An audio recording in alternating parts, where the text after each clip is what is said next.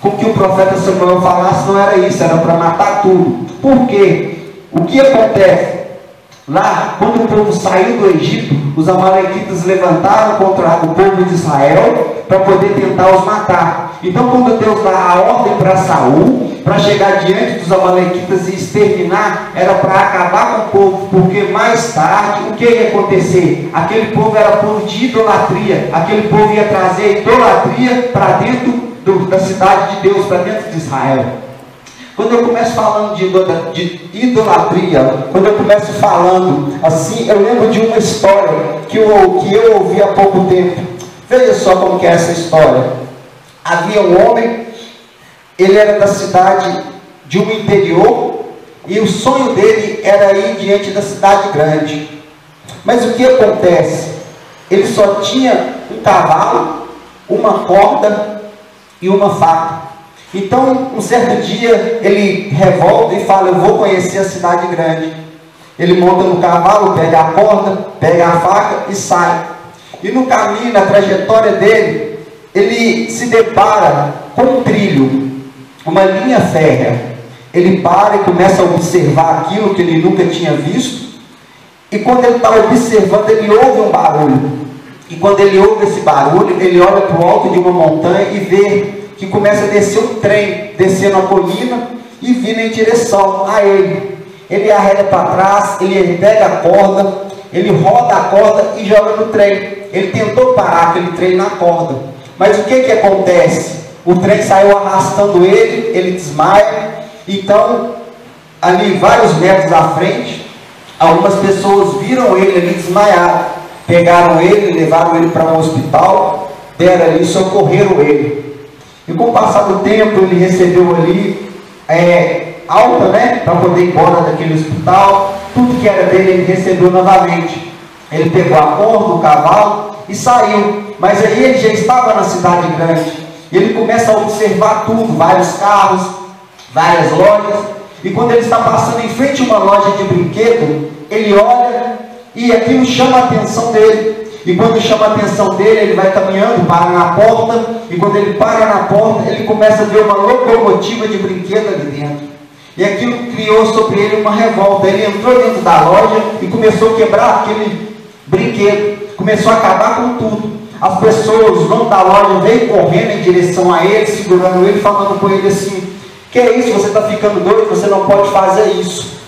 A moral da história, ele simplesmente falou assim: Você não sabe isso aqui está desse tamanho hoje, mas quando crescer pode te causar uma dor muito grande. Você não está entendendo. Existem coisas na minha vida e na sua vida que nós precisamos tirar agora, enquanto está pequeno. O relacionamento que não vem de Deus, um exemplo. Algumas coisas que Deus não permite que está na nossa vida e nós queremos, nós insistimos, nós queremos brigar com Deus por causa daquilo. Então, muitas das vezes, o relacionamento começou errado e nós queremos Ele.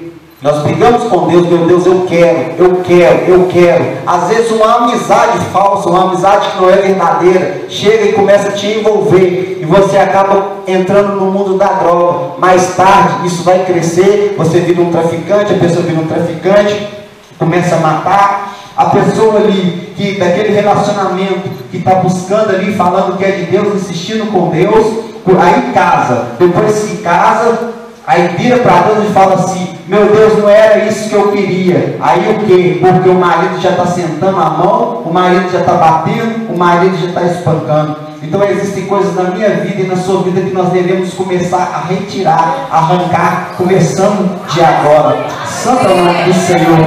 E assim aconteceu na vida de Saul. Deus deu para ele a ordem: olha, vai, devasta, acaba com tudo. Mas só que Deus, a Bíblia vem falando que Deus ele arrependeu de ter consagrado Saul como rei. E o que chama atenção, quando Samuel chega, Deus fala com ele assim: Olha, eu vou tirar o reinado de Saul, porque eu mandei com que ele fizesse e ele não fez, ele não me obedeceu. Aqui eu vejo que a desobediência ela gera maldição. E o que aconteceu? A maldição veio sobre a vida de Saul. Saul chega Samuel chega diante de Saul e fala com ele assim: Tudo que Deus mandou com que você fizesse, você fez. Então ele simplesmente fala, eu fiz, mas ali tem umas ovelhinhas ali, ali tem uns carneirinhos, ali tem um boi. Então Samuel ele fala, mas não, ah, o que Deus mandou você fazer não foi isso. E Deus então tira o reinado. Aleluia. Santo é o nome do Senhor. E Deus tira o reinado dele. E então Deus começa a procurar alguém para poder fazer a diferença no meio do povo. O que acontece? Santo é o nome do Senhor. Quando Deus levanta um homem para poder fazer a diferença, ele capacita. Muitas das vezes nós pensamos assim, como que vai ser? O que eu vou fazer? Quando Deus ele chama, ele capacita. Mas só que eu vejo que Saul ele quis dar uma forcinha para Deus, ele quis ajudar a Deus, então Deus tirou o reinado dele. Eu quero contar um pequeno testemunho da minha vida por motivo de desobediência. Eu morava no bairro Tupi e durante a madrugada eu pedi para Deus algo. E durante a madrugada inteira eu orei, busquei de Deus, falei com Deus, meu Deus, eu quero. E quando amanhecer, se o Senhor não me der, eu não vou fazer a obra do Senhor mais.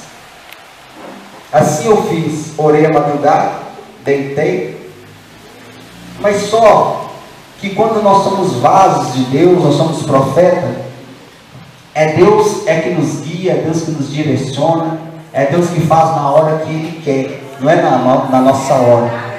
E o que aconteceu? Pela manhã eu senti uma dor muito forte na, no abdômen, na barriga, na região da barriga. E quando eu senti essa dor, eu levantei, falei, ah, deve ser nada demais.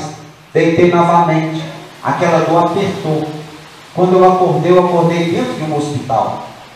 Eu estava sem camisa, somente de bermuda, cheio de aparelho ligado no meu corpo. E naquele momento, eu perguntei para Deus o porquê, e Deus não falava nada comigo. O médico chegou, me examinou e falou assim: leva ele para dentro de um, de um quarto, leva ele para dentro de um leito coloca ele deitado numa cama. E assim aconteceu. Fiquei deitado, falei, ah, não deve ser nada demais, deve ser somente uma dorzinha, eles vão me dar um remédio e eu vou embora. Por causa dessa desobediência, olha o que, que gerou na minha vida. Fiquei dentro do quarto, o médico entrou com os laudos médicos ali, chegava perto de um, chegava perto de outro, falava, olha, você está de alta, você vai embora, você vai embora. Todo mundo que estava ali dentro daquele quarto foi embora. E quando chegou na minha vez, ele falou assim: Ah, o seu nome é Wesley. Eu falei: Isso. Sabe o que, ele falou comigo? Não, você vai ter que esperar. E na hora que ele falou que eu tinha que esperar, eu falei: Meu Deus, eu não estou entendendo que negócio que é esse. Fiquei dentro da policlínica dois dias. Daí então, quando passou esses dois dias, o que, que aconteceu? Eu pensei: Agora eu vou embora. O médico chegou e falou assim: Você vai ter que ser transferido para a Santa Casa. Eu falei, meu Deus, que negócio que é esse? Eu não estou entendendo. O Senhor falou que era comigo. E Deus ficou em silêncio. A ambulância chegou, eles me deram uma injeção que só de lembrar dela se embagou até hoje. E olha que isso tem muito tempo. Me aplicaram uma injeção, me colocaram dentro de uma ambulância, me levou para Santa Casa. Quando chegou dentro da Santa Casa, eu entrei dentro de um quarto onde só tinha pessoas mais idosas, pessoas de idade. E eu comecei a observar aquilo, falei, Senhor, o meu estado é grave, eu não sei o que está acontecendo comigo. Ali eles fizeram o mesmo procedimento, me encheram de aparelho e perguntaram se eu mexia com droga, se o, o porquê, o que, que aconteceu, e eu não sabia explicar. E ali naquele momento, eu comecei a daquele hospital. Porque se você quer refletir, se você quer realmente ver o que é dor, Vai fazer visita dentro de um hospital que você vai ver como que é a situação lá dentro. E dentro daquele hospital eu comecei a parar em tudo, parar e pensar em tudo que eu tinha falado durante aquela noite. E ali eu comecei a arrepender, eu comecei a pedir para Deus perdão. E eles sempre chegavam perto de mim, os médicos, e falavam assim: olha, você vai ter que fazer o um exame e para ver o que está acontecendo. E nunca que eu fazia esse exame, dentro da, da Santa Casa, eu fiquei mais 12 dias. Então eu recebi algo. Eles falaram assim: olha, você vai ter que sair e fazer esse, esse procedimento, esses exames do lado de fora, em um outro hospital. Fizeram encaminhamento, me mandou para o Hospital São Francisco. Quando eu cheguei lá, eu fiz o, o que eles tinham pedido, o exame, e quando terminei de fazer o exame, o médico chegou perto de mim e falou assim: Olha, você não tem nada. Eu não sei o porquê que você foi parar dentro do hospital. Ele não sabia, mas eu sabia. Muitas das vezes, na minha e na sua vida, não tem acontecido as coisas por causa da rebeldia. Muitas das vezes na minha vida e na sua vida, nós queremos ajudar Deus a trabalhar. Quantas e quantas vezes nós oramos pela vida de um ente querido, pela vida de alguém que a gente gosta, ou pela vida de um amigo, e às vezes o processo de Deus é lento. E nós queremos fazer não, eu vou dar uma forcinha para Deus, eu vou lá e vou ajudar. Aí nós tiramos da mão de Deus, colocamos a nossa e quebramos a cara. E assim acontece. E quando eu começo a falando sobre isso, eu vejo que ali Saul, ele é banido, ele é tirado do reino. Então Deus levanta Samuel, vai de encontro a Davi. Então ele fala assim dessa forma: Olha, eu preciso levantar um rei em Israel. Então Samuel ele vai de encontro a Davi. E chega diante de Davi e chega diante de Jessé e pergunta: Onde estão os seus filhos? E o que acontece? Veio o mais velho, homem alto, forte, robusto, e Deus fala com ele assim: Deus fala com Samuel dessa forma, não é esse, porque eu não vejo da forma que o homem vê. Muitas das vezes nós olhamos baixinho, pequenininho ali, e nós falamos assim: aquele ali não vai dar em nada. Aquele ali não tem futuro. E nós olhamos um grandão, um fortão, e nós falamos, é esse. Mas com Deus é diferente. Deus ele não vê do jeito que a gente vê. Deus então ele começa a olhar e fala com Samuel dessa forma, olha, não é esse. Vem outro, Deus fala também não é esse. E depois que vieram quase todos os filhos de Jessé, Deus olha Samuel olha e fala assim: Mas não tem mais nenhum aqui em sua casa? O que que Jessé fala? Tem mais um, tem um mais novo, ele está lá no campo. Então Samuel fala desta forma: Vai e busca ele. Quando Davi chega diante de Samuel, a Bíblia vem nos ensinando que o óleo é derramado sobre a cabeça dele, diante dos irmãos dele. E aqui eu vejo que tem uma lição para a minha vida e para a sua vida também. Quantas pessoas estão aí 30, 50 anos dentro de uma igreja e fica na mesmice? Aí Deus olha e fala assim: Eu vou levantar aquele pequenininho para poder fazer a diferença. E quando ele começa fazendo a diferença, aquele que está 50, 30 anos quer levantar contra a vida dele. Eu não sei qual é o seu chamado, qual é a sua responsabilidade. Mas Deus nessa noite te chamou como Davi para chegar diante do gigante e vencer a grande guerra. Aleluia. Santo é o nome do Senhor. A Bíblia ela vem falando que quando Davi ele é consagrado, Saul ele não sabia que Davi tinha sido consagrado ainda. E então a explicação que vem que quando Saul é tirado do reino, vem um espírito começa a perturbar ele. E ele começa falando assim: Eu preciso de alguém que toque uma harpa. Então eles vão diante de Davi, busca Davi, porque Davi era tocador de harpa. Chega diante dele, e todas as vezes que Davi dedilhava ali aquela harpa, o espírito imundo saía de Saul. Santo é o nome do Senhor, engrandecido é o nome do Senhor. Aqui também eu começo a observar que muitas das vezes, quando eu começo falando de harpa, eu vejo que é a presença de Deus. O Salmo 137 vem falando que quando o povo foi levado a cativos, o que aconteceu? Eles pegavam a harpa, penduravam em uma árvore, porque eles estavam em terra estranha. E em terra estranha eles não queriam adorar a Deus. Quando eu começo vendo que esse povo, ele pega a harpa e pendura, eu começo a entender que eles pegaram a presença de Deus e deixou de lado. E nessa noite, o que, que eu começo a observar também? que quantas pessoas que estão aqui no nosso meio que já pendurou a harpa. Quando eu falo de harpa, eu falo de alegria, eu falo de presença de Deus, eu falo de manifestação do poder de Deus. Porque aquele povo de Israel era um povo alegre. E quando eles foram levados a cativo, eles penduraram a harpa e falaram: Eu não quero mais saber de Deus. E nessa noite eu vejo que tem muitas pessoas que já fizeram isso, já não tem mais alegria de viver, já não tem mais alegria de buscar, já não tem mais força. Mas Deus nessa noite está te devolvendo a sua harpa, para você dedicar. E aquele espírito mundo que está dentro da sua casa, ele vai ter que sair nessa noite. Aleluia. Santo é o nome do Senhor. Grande é o nome do Senhor. Daí então, começa, podemos dizer, essa parceria entre Saul e Davi. Saul começava, o espírito começava a perturbar, Davi chegava, dedilhava a harpa, o espírito imundo saía. Daí agora, Davi está lá no meio do campo, e Saul tem uma, uma guerra diante dele. É, se levantou contra ele os filisteus. A história todo mundo conhece. Estava lá o gigante, mais de 40 dias, apavorando o povo de Israel. E Jessé fala dessa forma: Olha, Davi, vai lá, vai lá ver como os seus irmãos estão. E quando Davi chega diante daquele lugar, Davi ele começa a observar que tem uma conversa, que começa uma conversa ali. E ele procura saber o que, que estava acontecendo.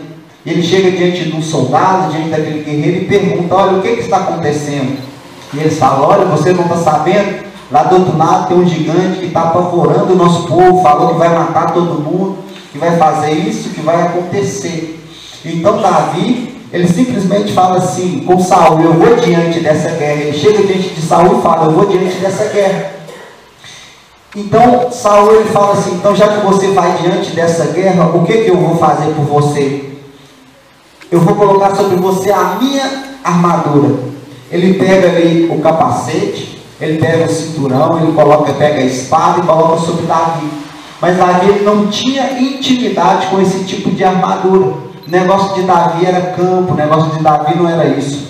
Quando Davi ele começa a andar, ele vê que aquilo não estava certo, ele volta, tira aquela armadura e fala com ele assim: Isso aqui não vai dar certo, pode deixar que eu vou. Eu vou porque eu sei que Deus vai na frente. Aqui eu começo a observar. Estava de um lado o gigante e do outro lado Davi. E uma coisa que me chamou muita atenção sobre isso, que me chama muita atenção, é o seguinte: ele tinha uma lança, o gigante. Golias tinha uma lança, ele tinha um escudo e ele tinha uma espada. Ele poderia simplesmente pegar aquela lança e acertar Davi de longe. Mas para ele acertar Davi de perto, ele tinha que chegar com a espada. Mas o mais interessante de tudo é que Davi ele pega somente cinco pedrinhas, coloca em uma funda, começa a girar, começa a rodar, e quando ele solta aquela pedra, ela pega, ela crava na testa do gigante.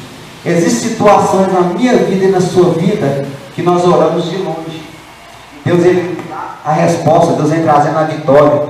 Um exemplo, tinha muito tempo que eu estava orando pela vida de uma, de uma jovem. Essa jovem ela estava no, no mundo das drogas, estava cada dia aprofundando mais.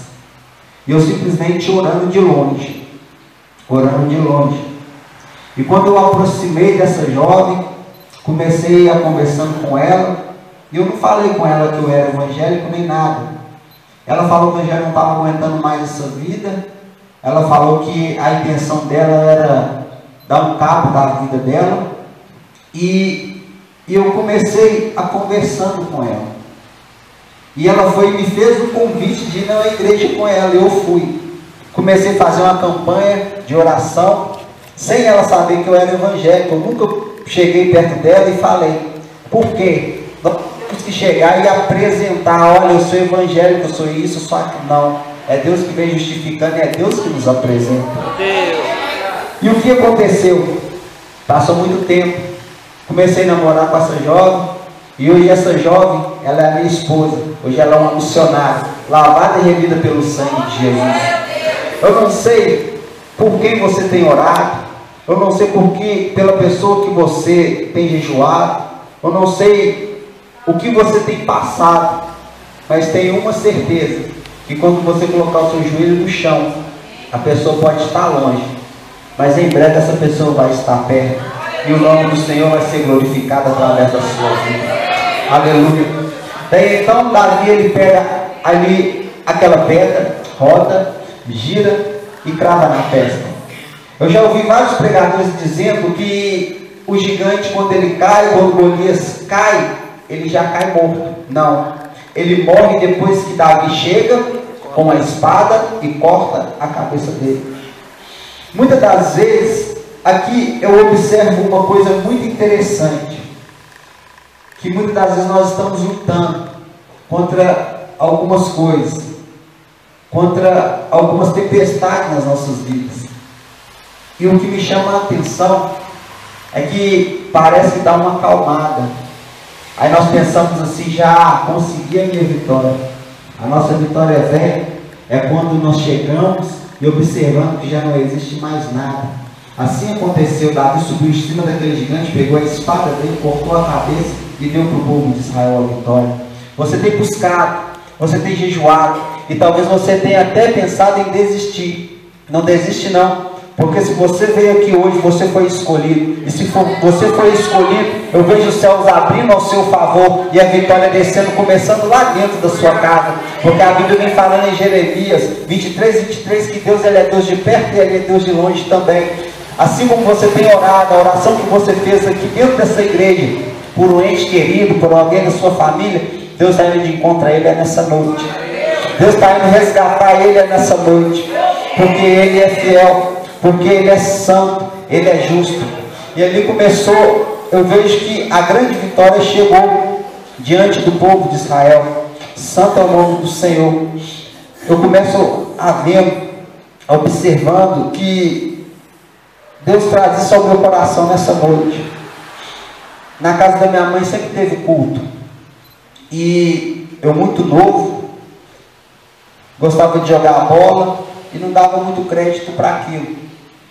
E todas as vezes quando eu passava, que eu via ali a pastora, o pastor ali, eu dava um jeito de abaixar, passar ali de fininho e sair para a rua para jogar bola. E teve um, um, dia que não teve jeito, quando eu estava passando de fininho, a pastora veio na minha direção e falou comigo assim: Olha, eu não te conheço, mas Deus tem um plano muito grande na sua vida. Ele vai realizar algo sobrenatural na sua vida julgavam, os que te apontavam vão ver que Deus, Ele é um Deus grande na sua vida. Você não vai entender isso hoje, mas daqui uns tempos você vai entender. E realmente eu não entendi nada. Passou um dia, passou dois dias, passaram anos. E a promessa de Deus começou a se cumprir na minha vida. Santo é o nome do Senhor. Ali, quando eu converti ao Senhor, Deus trouxe a memória aquela pastora e eu comecei a procurar sobre ela, comecei a saber onde era a igreja dela, comecei a ir de encontro e a minha irmã, ela era da igreja dessa pastora. E quando eu comecei conversando com a minha irmã, ela foi e me explicou na onde que era a igreja. Eu falei assim, nossa, eu senti no meu coração de fazer uma grande visita para essa pastora. Quando eu cheguei lá, sentei no fundo da igreja, participei do culto. Quando acabou o culto, eu cheguei diante dela e falei assim: Olha, pastora, é, eu preciso de uma oração, mas ela não lembrava de mim, porque tinha muito tempo. Ela orou por mim. E olha o que, que ela falou comigo ainda. Olha, quando você entrou na igreja, eu senti uma ligação muito forte, como se fosse mãe, como se fosse filho, uma ligação muito forte. Aí eu fui ler ela, falei, pastora, lembra que há anos atrás a senhora profetizou sobre a minha vida, eu sou Wesley e tal, eu expliquei para ela. Ela até emocionou, glorificou a Deus. Fui, ela terminou de orar por mim, virei as costas e fui em direção à escada. Lá tem uma escada. Quando eu comecei descendo a escada, olha a situação que Deus criou sobre a minha vida.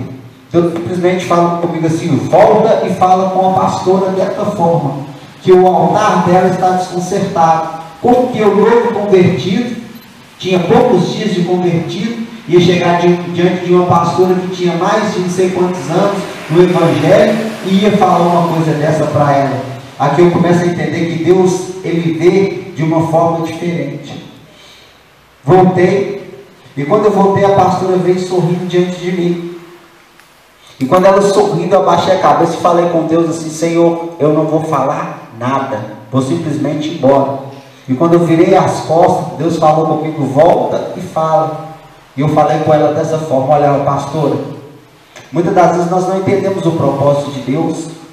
Muitas das vezes nós queremos questionar a Deus as coisas. Eu tentei explicar para ela ainda. E tem hora que Deus fala assim: vai e fala e pronto, acabou. E eu fiquei contornando aquela situação.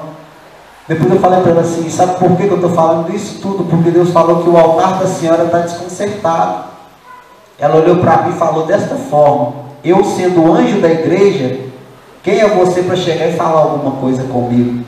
Naquele momento eu virei minhas costas, a lágrima desceu e eu falei com Deus dessa forma. Mas eu prego a palavra do Senhor porque o Senhor mentiu para mim.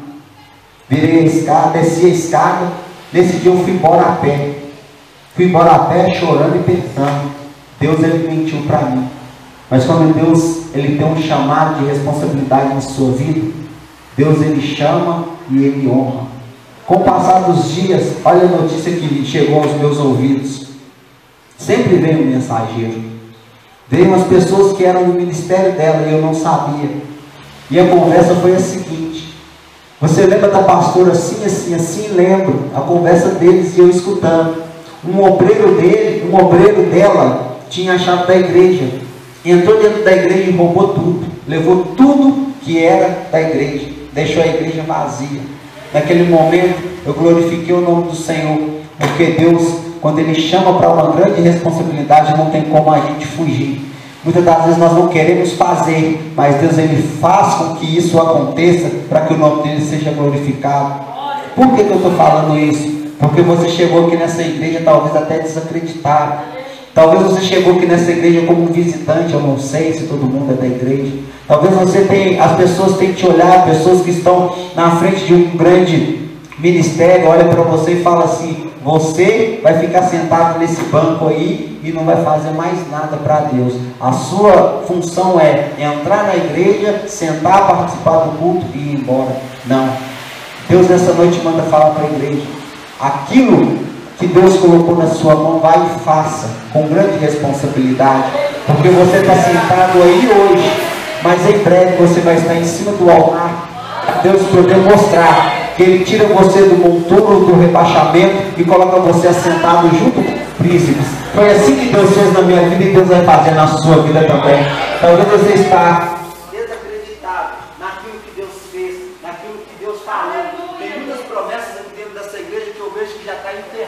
Tem pessoas aqui dentro dessa igreja que já pegou aquilo que Deus prometeu, já enterrou, já colocou ali escondido. Nessa noite Deus manda falar para a igreja dessa forma assim, que nessa noite Ele está resgatando os seus dons, os seus talentos, as promessas que você pensou que já estavam envelhecidas. Deus hoje vai fazer com que se cumpra na sua vida. Se você crê nessa promessa, glorifica o nome dele.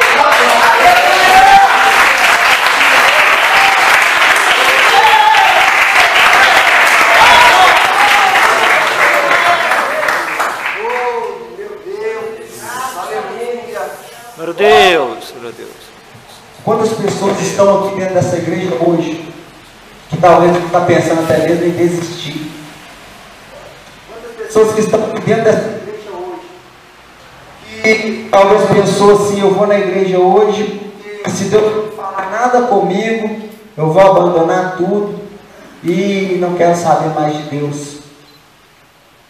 Tem uma história que eu ouvi há pouco tempo que fala que tinha um jovem diante de um rei. Ele tinha muita intimidade com o rei, mas ele era novo. E o que que aconteceu? O rei junta ali todos os seus soldados mais valentes, os poderosos, e fala assim: vocês vão diante dessa guerra e você tem, vocês têm que vencer essa guerra de qualquer jeito. E aquele que era jovem, aquele que não tinha experiência nenhuma, ele fala da forma: eu também vou, eu também vou. E o rei ele não proibiu, eles foram para a guerra. E o que aconteceu diante dessa guerra? Diante dessa guerra, o primeiro a ser atingido era aquele,